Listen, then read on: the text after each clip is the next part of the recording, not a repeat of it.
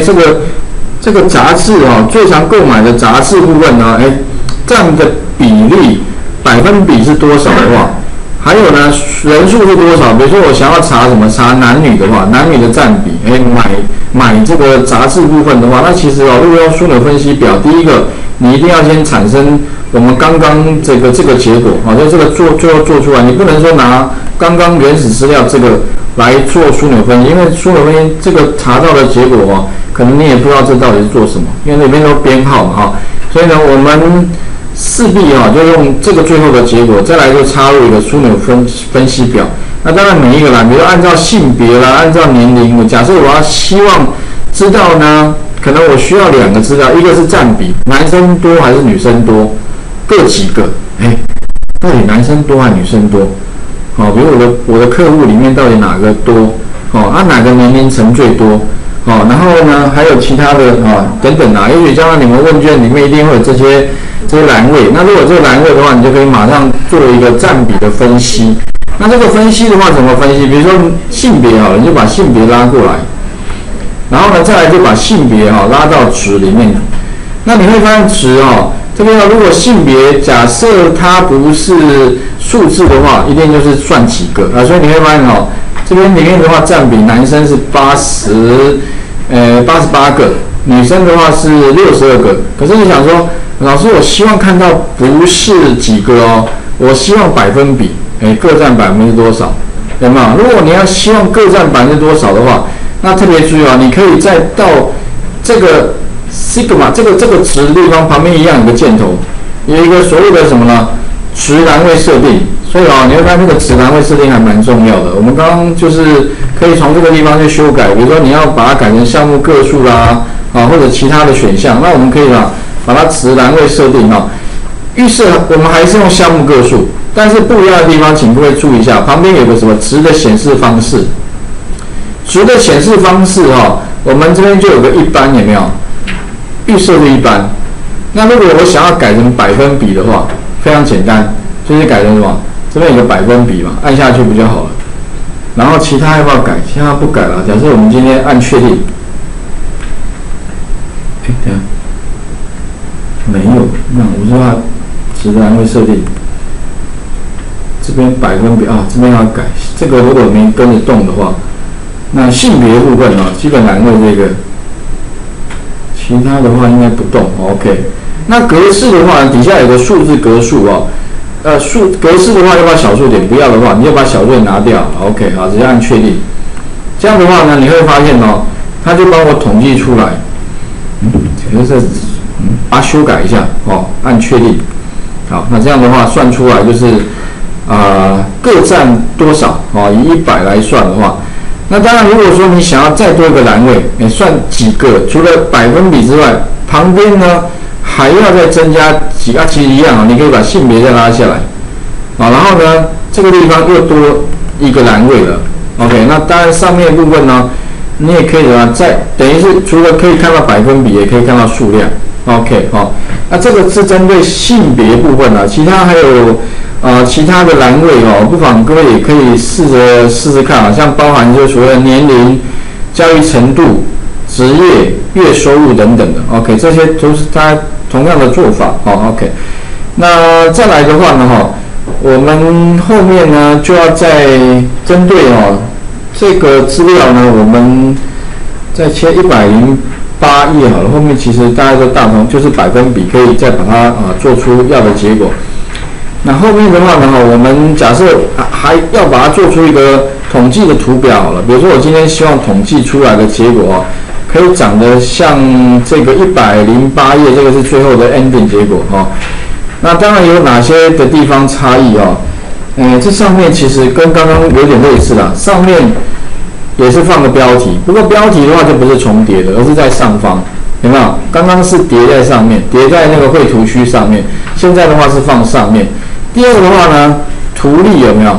哎，图例也是放在上上方，哦，刚刚是放在左方。另外的话呢，哈，还有所谓的什么呢？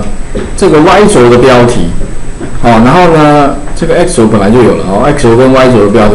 另外格线部分的话。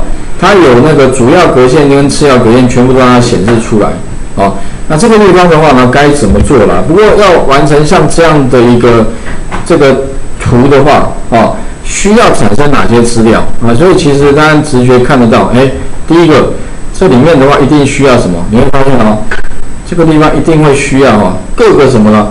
各个这个列标签的部分的话呢，啊，比如说应该放哪个栏位？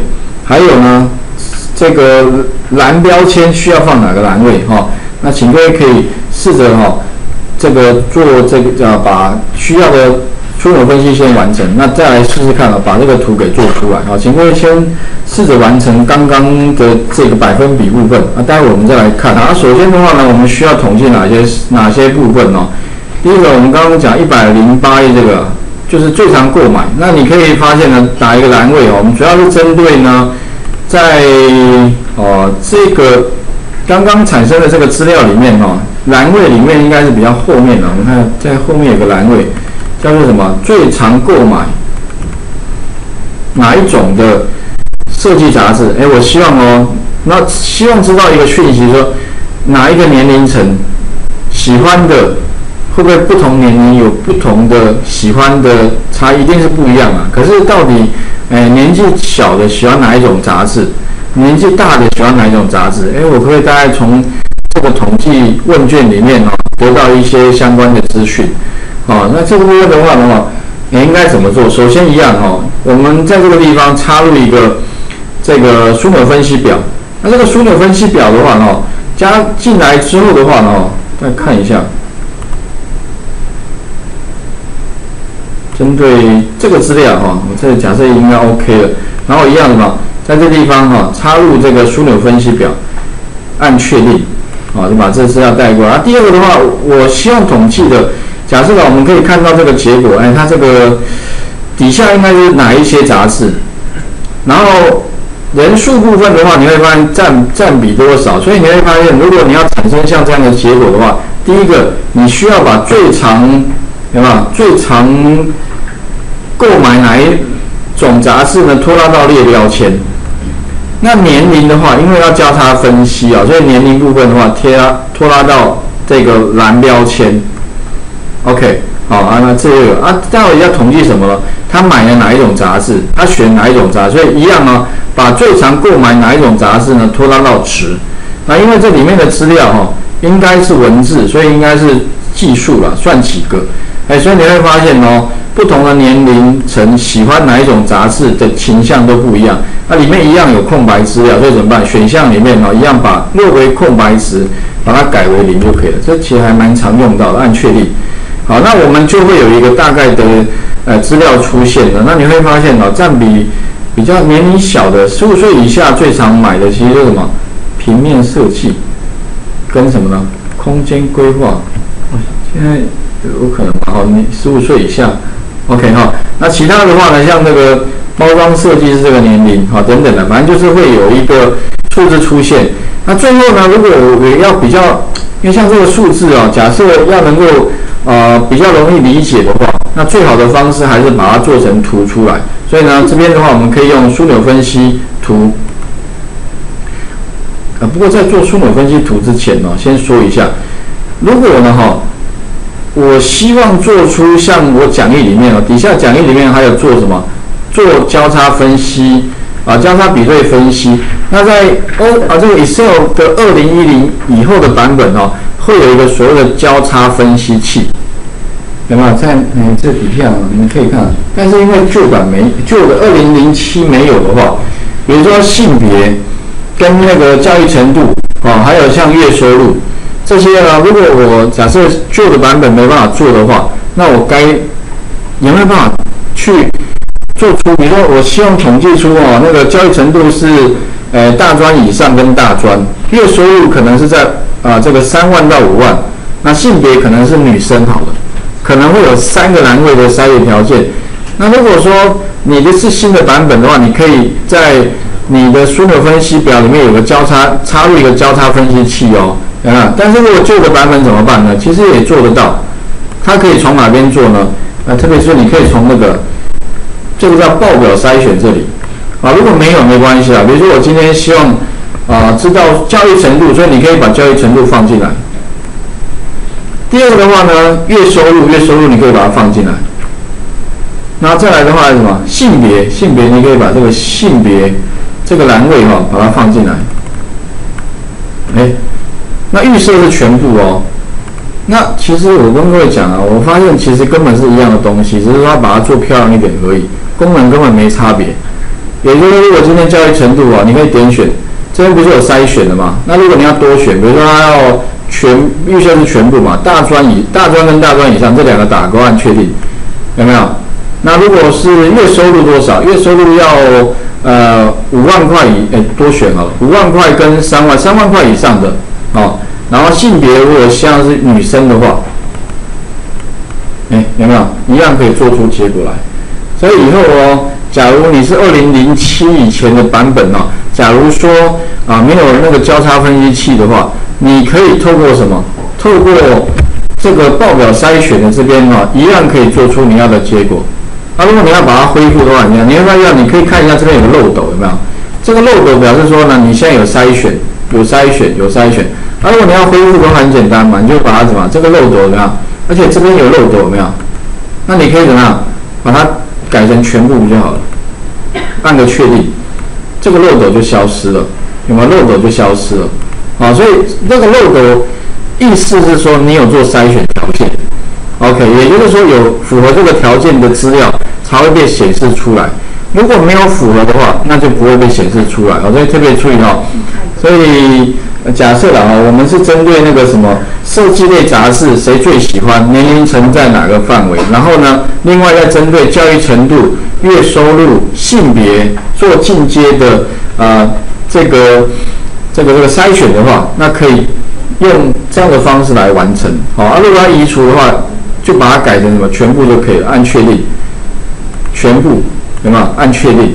那你会发现漏斗都不见了，这边也就不会有漏斗了哦。所以以后如果你看到漏斗，表示说我现在是有筛选的情况下哦，这个可以顺便讲一下，因为我这边有附一个功能啊，但是哦，二零零七没有没有这个功能，那就可能只能用这个方式，也可以达到我要的结果。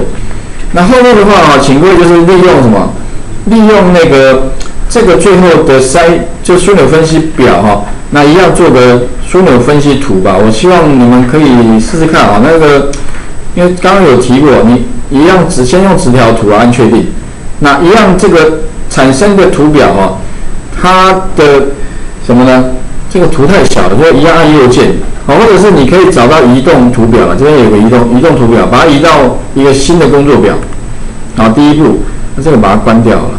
第二步的话呢，我需要什么呢？上面多一个，这个上面有一个所谓的标题啊，哈，所以一样，我这边版面配置上面的话就增加一个所谓的图表标题，放哪里呢？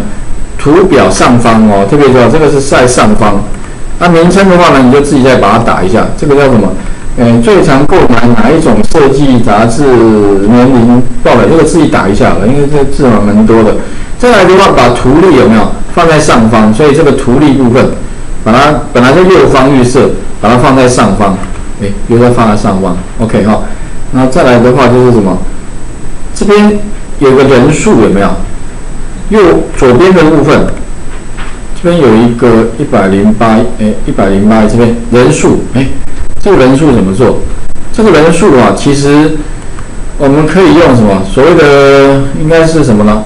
哎，坐标轴标题，我们刚刚是图表标题，坐标轴标题，那这个应该是哪一个呢？是主水平还是主垂直呢？哦，应该是什么垂直的吧？哈，那要不要预设是没有吧？哈，那我们是什么？哎，要不要旋转？应该是垂直吧？我看人数，所以你垂哎垂直标题，有没有？那这边的话就输入什么？它会出现字嘛？所以你可以把它什么？输入人数。这样的话呢，它就会多出一个垂直的，哎，有没有？这个地方就有人数了。那字可以再把它放大一下，那么这个可以再把常用里面的字看要放到多大了？十六。OK，好，大概啊字它颜色换一下，这个是可以在啊这个地方是版面配置里面呢的坐标轴标题的啊什么主垂直的什么主垂直。轴标题的垂直标啊，它因为哈也是一样啊，可能不同的版本哦，我这边是放版面配置这个位置。那如果你们是不同版本哈，一定也有，只是又要稍微找一下，OK。所以它这有时候每次都玩那个大风吹哦，每次都吹到不一样的位置上，这也是蛮麻烦的哦。但理论上名称我想应该不会变啊。那其他的话，底下名称啊，字的大小哦，还有就是说它背后格线啊，格线我想刚刚也做过，主主两个都要，主主要次要哈。那格线部分垂直也两个都要，那这样就把那个格线画出来，这样 OK 的哈。不过我后来发现啊，其实像这个图表哈，这个这个图的话哈，其实感觉这样呈现哈，等于是好几个直条图哈，这样呈现好像没有办法把比例给呈现出来，所以我觉得应该可以变更标题，也许用什么百分比这个百分比的这个堆叠直条图哈，来表示好像会更加的清晰。而且比较容易明白，因为它有点像是总共就这么多，那多少颜色马上一目了然哦，会比你用好几个直条图，我觉得会比较浅显易懂一些哈。所以许啊，你们可以再试着哈，利用那个所谓的变更，在设计，我认为是设计里面有一个变更图表类型，然后你可以试着把那个里面常用的几个啊这个图表哈，试着把它变化看，慢慢用不同的。这个图表类型可以呈现出最好的效果出来。OK 哈，其他的话大概就是这些啊。底下的话我是有做了一些啊，一键完成的啦。不过像那个一百一十三，这个只是也是大概就让大家知道一下，一一百一十三页有那个一键完成。这时候一键完成？这边有两个按钮哦，什么按钮呢？将来如果说看一下我这边应该是有有做好的。这个 VBA 部分，这个是用 VBA 做出来的。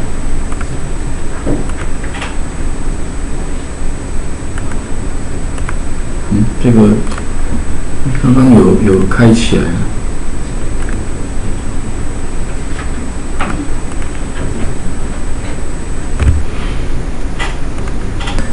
很多动作啊，如果你什么都不想动，你以后就一个按钮。怎么样？你会把它按下它，像这个就是总共有十四个栏位啊，但这边有个按钮，按下它，它就全部 OK 了，就像这样子，一键就完成了。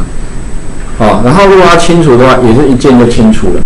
也就是如果你资料变更了，前面资料换了，对不对？哈，那你就是什么事都不用做，你就只需要按一个按钮，那资料就 OK。甚至哦，后面其实可以被做到哦，大量枢纽分析自动化，其实是可以的，只是还是。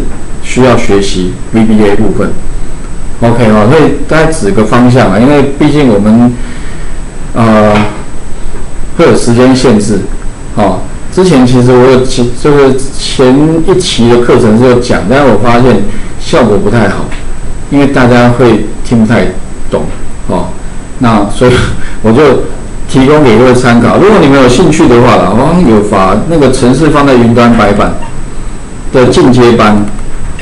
那这边的话，我看一下，我们是这个叫市场调查分析吧，哈。那至于那个刚刚讲那个那些城市，应该我有把那个做好的城市都放一份在这上面。哎呀这边这边其实有 VBA 在这里。好，刚刚这里有没有两个按钮？就两个 Sub。其实你一样啊，把这个两个 Sub 贴到模组里面，就可以直接 run，run 出来就是刚刚这个效果了。哦，那至于呢，如果你想要做更复杂的哈，这边底下还有了，你看就是枢纽分析表的聚集，就是枢纽分析的自动化啊，其实可以做到很多枢纽自动化。等于你如果每个每个栏位呢都要产生对应的枢纽分析表、枢纽分析图的话，其实是可以一键完成的。啊，至于细节部分啊，这边有一些程式码，但其实蛮难的。啊，啊，因为很难，所以我就放在这边啊，给各位参考。如果有程度比较好的同学啊，也许可以自行再参考看看。OK，好，那请各位试试看啊，把刚刚的这个图部分先完成看看。好，那待会的话，我们就再来看其他。